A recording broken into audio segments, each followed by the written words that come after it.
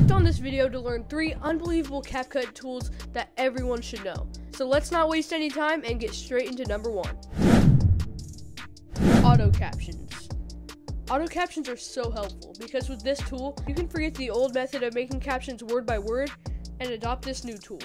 All you have to do to apply this tool to your video is click on text, go to auto captions, then you can choose if you want your original sound, voiceover, or both to turn into captions.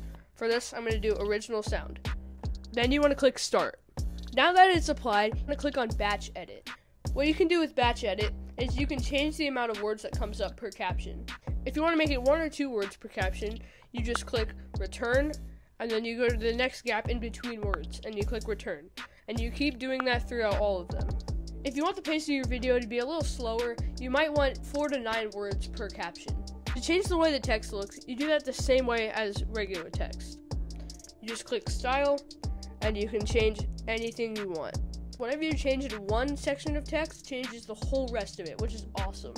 I scaled it up a little bit and this is what it looks like. This video is amazing. You should definitely subscribe. This tool is very simple but very effective. Next is remove background. To do this, you want to add an overlay or two, and then you want to click cutout, and you want to click remove background. Now it'll start removing the background, and you should be able to move the overlay wherever you want. So in this case, if you want to make something stupid, all you do is click remove background, and you can get something like this.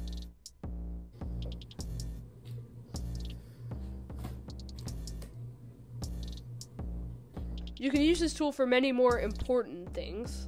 This tool can be used for a variety of different reasons. It's also very fun to play around with. Last but not least is lock on. With this tool, you can take any image and make it lock on to a face or object or body. Let's say you want to put an emoji over someone's face because you can't show it. I'm going to grab this sticker, I'm going to drag it on top of my face, and I'm going to select tracking. Then you're going to drag the circle right above the face or object or whatever you want it to track and you're going to scale it down to the right size. Then you can select start tracking. As you can see, I covered up my face with this emoji. That was three unbelievable CapCut tools that everyone should know. If you enjoyed this video, subscribe, and if you want to see any more tutorials, leave them down below in the comments. See you in the next one.